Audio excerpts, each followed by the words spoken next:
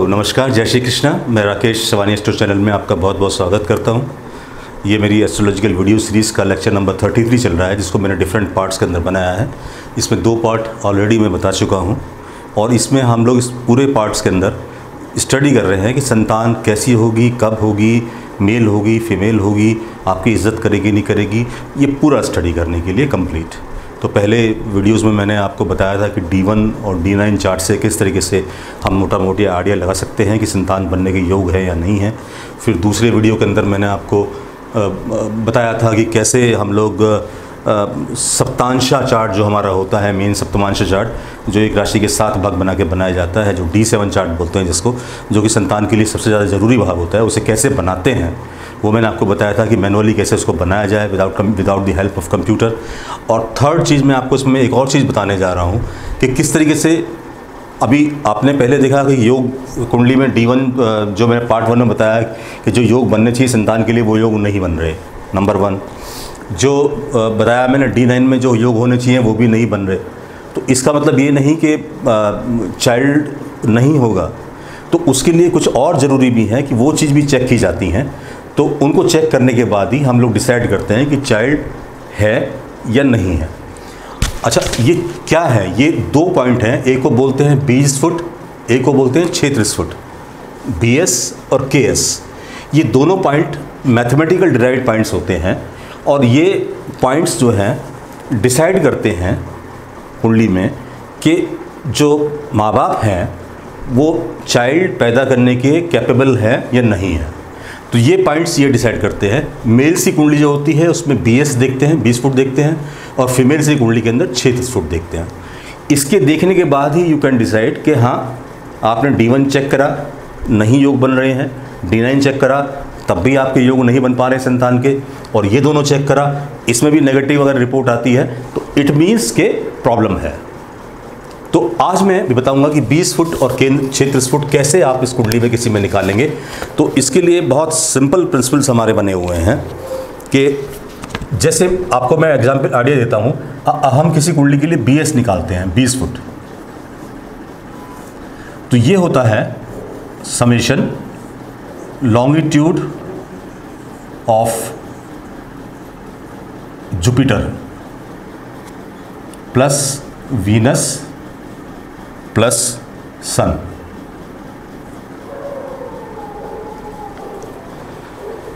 ये सिंबल है सम का मतलब लॉन्गिट्यूड जुपिटर का लॉन्गिट्यूड वीनस का लॉन्गिट्यूड्स और सन का लॉन्गिट्यूड तीनों का लॉन्गिट्यूड अगर जोड़ दें, ये जोड़ने का मतलब होता है सम साइन तो जो वैल्यू निकलेगी, तब आप कह सकते हैं कि आपका 20 फुट क्या है?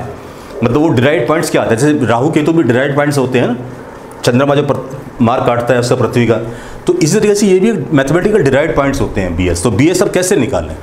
जैसे इसी कुंडली में एग्ज़ाम्पल कुंडली है, ये एग्ज़ाम्पल कुंडली हमारी लगातार फ़र्स्ट लेक्चर चली आ रही है फ़र्स्ट पार्ट से। तो इसमें अगर हम 20 फुट निकालते हैं तो कैसे निकालेंगे? देखिए लॉन्गिट्यूड ऑफ़ जुपिटर जुपिटर कहाँ पर है? दसवीं राशि में है और 28 डिग्री 8 मिनट का है। तो कहने का मतलब हम लोग लिख सकते हैं कि nine sign pass 28 degree 8 minute. ये जुपिटर आ गया। अब इसके अंदर हम जोड़ेंगे वीनस। वीनस अगर आप जोड़ें तो वीनस कितना है? दो डिग्री अठारह मिनट है, लेकिन दसवीं साइन में ही है। मकर राशि में है। तो इसको नाइन साइन पास करा, दो डिग्री, ये अठारह मिनट हो गया। इसके बाद सन सूर्य लिया। सूर्य कहाँ पर है हमारा? सूर्य हमारा है दो डिग्री छप्पन मिनट का, ये भी इसी राशि में है, मकर राशि में है। तो ये भी नाइन साइन पास, दो डिग्री छप्पन मिनट का आएगा। इसका टोटल करेंगे तो हमें मालूम चलेगा कि हमारा 20 फुट कहाँ बैठता है। तो इसके लिए मैं आपको एग्ज़ाम्पल पहले के छत्तीस फुट की बता देता हूँ, जो कि इस कुंडली के अंदर ये हमारा भी साबित हो जाएगा कि क्या जिनकी ये कुंडली है, वो दे आर कैपेबल कि वो माता या पिता बन सकें। तो ये क्योंकि एक फीमेल की कुंडली है ये वाली तो उसके लिए मैं बताता हूँ। तो इनके लिए हम लोग निकालते हैं, ये फार्मूला आपने नोट कर लिया, ऐसे टोटल करते हैं, वो मैं आपको एग्ज़ाम्पल दिखाता हूँ फिर उसका। इनके लिए हम निकालते हैं छः स्फुट के एस केस क्या होता है? ये होता है समेशन ये भी लॉन्गिट्यूड ऑफ़ जुपिटर जुपिटर का लॉन्गिट्यूड लो. फिर मार्स का, मंगल का लॉन्गिट्यूड लो. और फिर मून का लॉन्गिट्यूड लो. इन तीनों के लॉन्गिट्यूड को जोड़ो. तो समेशन का मैंने बताया, ये सम का चिन्ह है. यानी इन तीनों को लॉन्गिट्यूड जोड़ने के बाद तीनों का योग करें. तो जो हमारा आएगा वो क्षेत्र सुट आएगा। अब जैसे मैं इसमें आपको कैलकुलेशन करके दिखाता हूँ। जुपिटर का लॉन्गिट्यूड देखिए। जुपिटर हमारा nine sign pass 28 degree 8 minute है। क्योंकि दसवीं राशि में है तो नाइन साइन पास लिखेंगे इसको। 28 डिग्री 8 मिनट का है तो 28 डिग्री 8 8 मिनट। लॉन्गिट्यूड हो गया पूरा इसका। फिर लॉन्गिट्यूड ऑफ़ मार्स मंगल का लॉन्गिट्यूड देखिए। मंगल आपका सातवीं राशि में है। यानी सिक्स साइन पास और कितनी डिग्री है? 26 डिग्री 38 मिनट का। तो 26 डिग्री 38 मिनट। ये ज़ीरो आठ मिनट हो गया। ठीक है ये हमारा आ, मार्स आ गया। अब आइए लॉन्गिट्यूड ऑफ़ मून मून क्या है हमारा? मून हमारा यहाँ पर है बारहवीं राशि में। तो सिंपल बात है तो 11 साइन पास आएगा लिखा हुआ इसको। यानी 11 साइन पास हो चुके हैं। बारहवीं राशि में चंद्रमा हमारा है। कितना है? तेईस डिग्री छः मिनट का। तो ये तेईस डिग्री छः मिनट छोड़ दिया। इन तीनों को हम टोटल करते हैं। तो जैसे हम टोटल करेंगे तो 9 और 6 15 और 11 26 तो ये आ गया 26 साइन पास। 28 और 20 अड़तालीस से चौवन और 20 चौहत्तर, तीन सतहत्तर सतहत्तर डिग्री। अड़तीस आठ छियालीस और छः बावन फिफ्टी टू मिनट्स यही टोटल आया।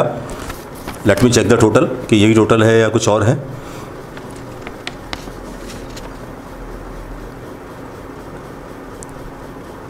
जी, यही टोटल आता है इसका।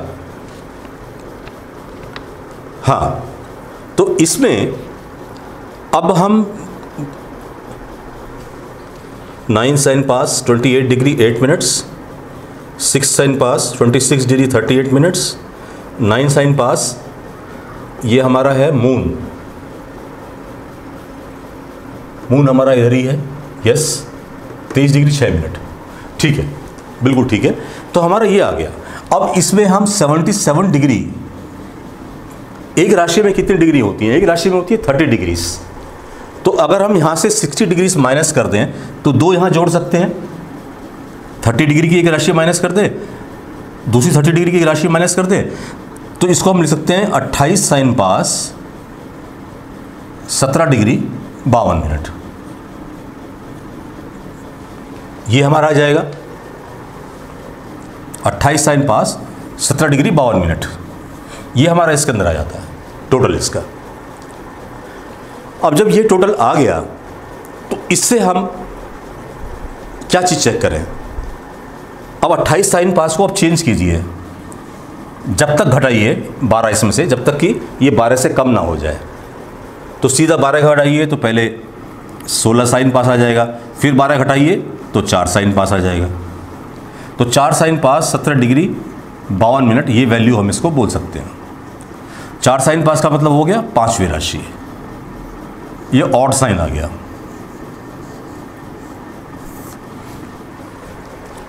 तो ऑड साइन होने की वजह से अगर फीमेल की कुंडली हो, क्षेत्र फुट ऑड साइन में आ गया, क्षेत्र फुट आ रहा है हमारा, चार साइन पास सत्रह डिग्री बावन मिनट का। अगर वो ऑड साइन में आता है इट मीन्स के चाइल्ड में प्रॉब्लम है। वो ये शो करता है कि चाइल्ड के अंदर प्रॉब्लम है। तो अगर हम छः फुट निकाल रहे हैं और अगर हम बीस फुट निकाल रहे होते, ये निकाल रहे होते, ये आउट साइन में आता, तब चाइल्ड में कोई प्रॉब्लम नहीं थी, क्योंकि मेल के लिए बीस फुट निकालते हैं। फीमेल के लिए जो हमारा क्षेत्र सूट है, वो इवन साइन में होना चाहिए। अगर इवन साइन में है तो वो चाइल्ड को यस करता है, और इवन साइन में नहीं है तो चाइल्ड में प्रॉब्लम बताता है। और मेल्स के अंदर ऑड साइन है तो यह चाइल्ड को यस करता है और साइन नहीं है तो इवन बताता है। तो ये चीज़ इसके अंदर हमें ध्यान देने वाली रखनी है। और इसके बाद अब हम लोग क्या करेंगे? इसमें तो ये हमने देखा कि हमारा क्षेत्रफल जो है वो ऑड राशि में आ गया ऑड साइन में आ गया। तो अब इसको हम चेक करेंगे तीन चार्ट्स के अंदर। तीन चार्ट्स में हमें चेक करना है इसको। एक तो चेक करना है कि डी नाइन में ये कहाँ जाएगा? ये राशि और डी सेवन में ये राशि कहाँ जाएगी? वो हम लोगों को निकालना है इसके अंदर। तो अब देखिए डी नाइन में देखकर हम देखें, नमाज़ चार्ट के अंदर तो चूँकि ये कौन सा साइन है? ये आपका है फ़र्स्ट सेकंड थर्ड चर, स्थिर, द्विस्वभाव, चर द्वि स्थिर, द्विस्वभाव, फिर चर, स्थिर स्थिर राशि आ गई हमारी ये।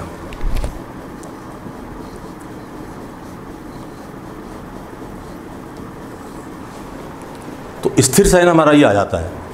पहला स्टार्ट करते हैं तो पहला चर होता है, दूसरा स्थिर, तीसरा द्विस्वभाव फिर चौथा चर, पांचवा स्थिर, छठा द्विस्वभाव इस तरह की गिनती हमारी चलती है। ये आपको मालूम ही होगा, ये साइंस का, साइन है, जिन्हें म्यूटेबल और इस तरह के साइन हम लोग बोलते हैं। ये स्थिर साइन हमारा शो करता है। तो नवमांश कुंडली में ये ध्यान रखिए कि अगर स्थिर साइन है तो काउंटिंग नवी राशि से स्टार्ट होगी। काउंटिंग स्टार्ट नवी राशि से, यह स्थिर साइन है। तो in D nine counting will start from ninth sign ninth sign का क्या मतलब हुआ? ये बताता हूँ नाइन्थ साइन देखिए, ये पांचवा नंबर साइन है, सिंह। ये पाँच नंबर साइन है, सिंह। इससे नवा कौन सा हुआ? पाँच, छ, सात, आठ, नौ, दस, ग्यारह, बारह और एक। इससे नवा स्थान हुआ हमारा एक क्योंकि तीन देखिए ना, एक, दो, तीन, चार, पाँच, छ, सात, आठ, नौ। तो इससे नवी राशि हमारी आ गई एक। तो काउंटिंग स्टार्ट होगी मेष से। और काउंटिंग कहाँ तक जाएगी, वो देखना है। अब काउंटिंग कहाँ तक जाएगी तो इसके लिए देखिए कि आपका जो ये, इसकी वैल्यू है, वो कितनी है? सत्रह डिग्री बावन मिनट की है। तो नमांश चार्ट के अंदर एक पार्ट कितना होता है? तीन डिग्री बीस मिनट का। पी वन होता है तीन डिग्री बीस मिनट, क्योंकि तीस तीस डिग्री पार्ट के नौ पार्ट किए जाते हैं। ये तीस डिग्री हो गया। पी टू हमारा छः चालीस हो गया। पी थ्री हमारा हमारा ये हो गया आपका तीन बीस को जोड़ दिए तो दस डिग्री हो गया। चौथा पार्ट हमारा हो गया तेरह बीस तक। पांचवा पार्ट हमारा हो गया सोलह चालीस तक। और सातवां, छठा पार्ट हमारा हो गया तीन यहाँ जोड़ दिए, तीन बीस, यानी कि बीस डिग्री तक। और ऐसी सातवां, ऐसी आठवां, ऐसा नवा। तो हमने देखा था कि हमारी जो क्षेत्र सुट की वैल्यू आई थी, वो आई थी फोर साइन पास सत्रह डिग्री बावन मिनट, यानी ये ऑड साइन आया था। और ये स्थिर राशि थी। तो स्थिर राशि को नमांश में चेक करने के लिए कि ये नमांश में कहाँ गया होगा। हम बेसिकली लोकेट कर रहे हैं कि जो क्षेत्र सुट है, हमारा के है, ये के नवांश में कहाँ पर गया? डी वन में तो आ गया। डी वन में तो ये दिखा दिया कि के हमारा ये पांचवी राशि में आ गया तो यहाँ के आ गया। डी वन में तो हमारा ये के एस यहाँ आ गया। लेकिन नवांश में कहाँ गया है, वो हमें देखना है। तो डी वन के हिसाब से ये के एस चूँकि ऑड साइन आ रहा था इसलिए फीमेली कुंडली में ऑड साइन का मतलब होता है नेगेटिव कि वो चाइल्ड को प्रॉमिस नहीं करता। अब नमाज़ में हम चेक करेंगे कि क्या जो हमारा ये केस है क्षेत्र फुट है, वो यहाँ भी ऑड साइन में आ रहा है या यहाँ इवन साइन में आ रहा है? तो हमने बताया कि जब स्थिर राशि होती है, स्थिर राशि में काउंटिंग स्टार्ट होती है नवी राशि से। राशि है पाँचवें नंबर सिंह राशि। तो सिंह से नवी राशि हमारी मेष हो गई तो मेष से काउंटिंग स्टार्ट होगी। कहाँ तक स्टार्ट होगी? कितने पार्ट तक? सत्रह डिग्री बावन मिनट का है। तो सत्रह डिग्री बावन मिनट हमारा कहाँ आता है? छठे पार्ट में, सोलह डिग्री चालीस मिनट से बीस डिग्री तक। छठे पार्ट में आता है। तो यहाँ से छः तक छः तक काउंटिंग करेंगे यहाँ से। तो एक, दो, तीन, चार, पाँच छ यानी कन्या राशि। तो डी नाइन में ये इवन साइन में आ गया। तो अब ये देखिए आपके डी नाइन में जब ये इवन साइन में आ गया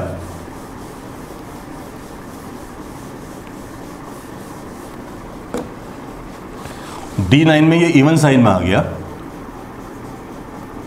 तो इसका मतलब क्या है कि फीमेल कुंडली में अगर के एस इवन साइन में हो तो चाइल्ड प्रॉमिस करता है। डी वन में के एस उनका ऑड साइन में आ रहा था, वहाँ चाइल्ड प्रॉमिस नहीं हो रहा था बट नवांश कुंडली के हिसाब से इनका चाइल्ड प्रॉमिस हो रहा है क्योंकि यहाँ पे के एस इवन साइन में है। इसके बाद हम निकालेंगे, ये चेक करेंगे कि सप्तांश में ये कहाँ गया। अच्छा डी सेवन चार्ट में ये के एस कहाँ जाता है? तो लग्न का तो हमें मालूम है कि के एस लग्न में डी वन चार्ट के अंदर हमारा पांचवी राशि में है तो डी सेवन में कहा गया। अब डी सेवन का देखने के लिए अगर हम लोग देखना चाहें इसको डी सेवन का तो चार डिग्री सत्रह मिनट का एक पार्ट होता है। मैं पार्ट्स बना लेता हूँ यहाँ पे ताकि आपको समझने में आसानी रहे।